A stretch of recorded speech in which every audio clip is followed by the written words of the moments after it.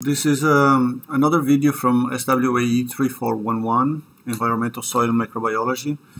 Uh, and today uh, I'm going to be answering some questions from Arwa, one of our students, uh, about uh, the, the lecture on nitrogen cycle and soil microbes. So on the screen we have the questions that Arwa sent me. Um, first of all, she asks if the carbon to nitrogen ratio increases in the soil uh, more than normal, or we're going to have more residue decomposition, so more nitrogen is going to be recycled from residues. And what is better to have high or low carbon to nitrogen ratio? The answer for the first question is no. When we have a high carbon to nitrogen re uh, uh, residue, what's going to happen is the microbial biomass will uh, lock all the nitrogen on the microbial biomass. And the lack of available nitrogen will slow down the decomposition of these materials. The decomposition will be highest when the carbon to nitrogen ratio is lowest. So the more nitrogen you have, the quicker the carbon will be decomposed on the soil. But the, it's not optimum that you have uh, too low carbon to nitrogen ratio. Like for example, um, manures, for example, fresh manures, or um, for example, uh, poultry manure, or um, let's say also if you add to the soil uh, dairy products, uh, wastes, or something with very high amount of nitrogen and low uh, carbon. So if you low the carbon to nitrogen ratio too much, this becomes too good for the microbes, which means that they will grow too quickly and what they will cause will be anaerobic conditions. The decomposition will be so quick that they will all the oxygen will be depleted, and then you have anaerobic conditions being formed because the speed in which the gas diffuses on the soil will be uh, lower than the, the rate in which the microbes are uh, um, uh, taking the oxygen. So too low carbon to nitrogen ratio in the compost pile or in the soil, it means that you, you are creating anaerobic conditions. If it's too high, it means that the composition will be slowed because all the nitrogen will be depleted. If you deplete the nitrogen, there's no available nitrogen. You have to wait for the, the microbial biomass to be cycled, and then the, uh, when the microbial biomass is cycled, then the, the nitrogen becomes available again and uptaken again.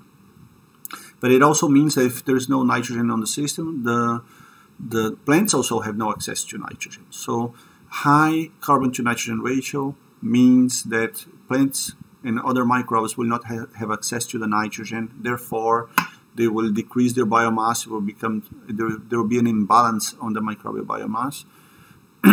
and too low, it means that you are uh, growing too quickly. So I, either way is not uh, convenient.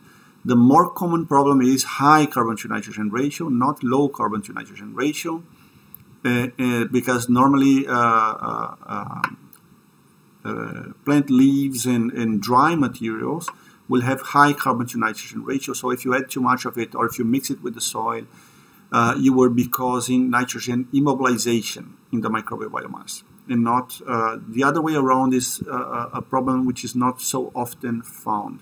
But ideally, what you want to find is carbon to nitrogen ratios around uh, uh, 20. Yeah? If you if you're over 30, it, it's a, a, problem. If you are below 20 or below 15, it becomes a problem also. So this is about the first question. Yeah? Uh, if we add organic amendments to soil to have a, a, low carbon to nitrogen ratio during the mineralization of the microbes, we'll have higher in amounts. So let me read this again. If we add organic amendments to soil that have low carbon to nitrogen ratio, so during the mineralization, the microbes will have high in amounts, so they can convert carbon uh, and the excess will build up in soil. Is that bad? So uh, again, uh, coming back to that issue of low carbon to nitrogen ratio is the problem with the carbon to nitrogen ratio is not the, the, the stoichiometric limitation of not having enough nitrogen to decompose the carbon. When you have low carbon to nitrogen ratio, you do have enough nitrogen to decompose all the available carbon that you have on the soil. All the, all the easy sources of carbon will be able to be recycled by the microbes. The, the real problem with very low carbon to nitrogen ratio is that it's too good. So the microbes will go too quickly and, the, the, um, it will cause also an imbalance on the system uh, uh, in the, the, the um, the oxidation uh, uh, conditions of the environment will become more uh, anoxic.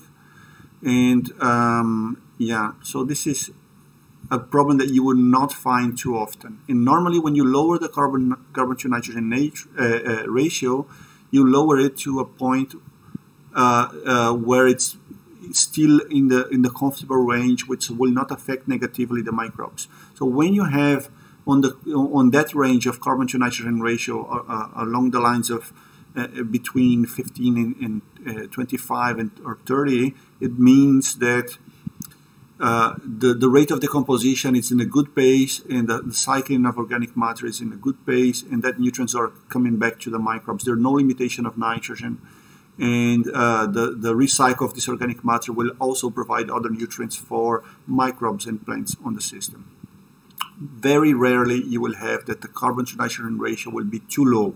Normally, it's uh, when it's low, it's in a good range. Yeah, the the low carbon to nitrogen ratio in soils normally they are in a good range. The, the often the problem would be it's that it's too high if you add uh, materials with a high carbon to nitrogen ratio. So uh, next question is, uh, denitrification is good in removing high amount of nitrates in soil because it may leach to the groundwater. But what controls the amount of nitrate being removed from soil so we can avoid the deficiency?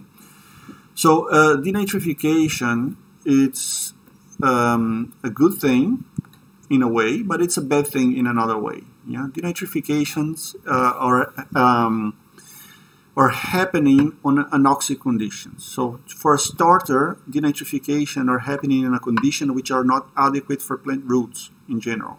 You need to have high moisture content um, uh, uh, sites, anaerobic sites in the soil where you have this uh, denitrification happening in a reducing condition. So the microbes in the denitrification process will be using the nitrate as a source of oxygen, not as a source of energy.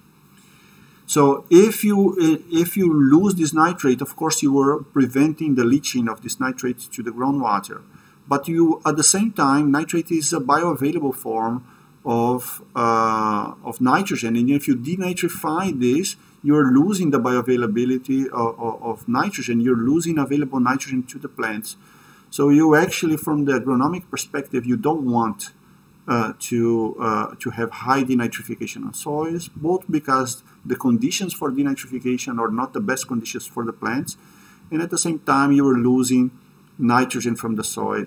And this uh, nitrogen loss is, uh, represents a low, uh, a decrease in the efficiency of the nitrogen fertilizer.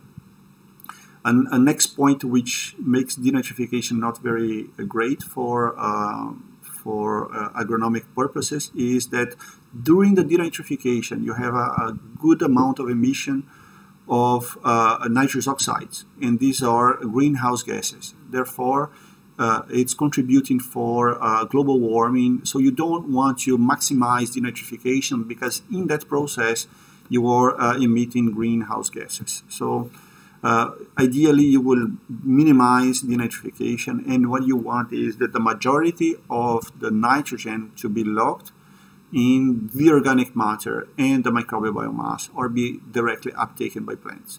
Neither the, um, the ammonium volatilization or the denitrification process are desirable um, uh, processes in agronomic systems. Um, fourth question is uh, does, uh, do microbes have more important roles in nitrogen cycle than in the carbon cycle? Then uh, that answer for the question is this is very uh, a personal view. I would say that all functions in the soil are important. The, the microbes involved on the carbon cycle, all of them are important. The microbes involved on the nitrogen cycle, all of them are important. The only thing that uh, I would emphasize is that in the nitrogen cycle, you are more likely to have uh, keystone species.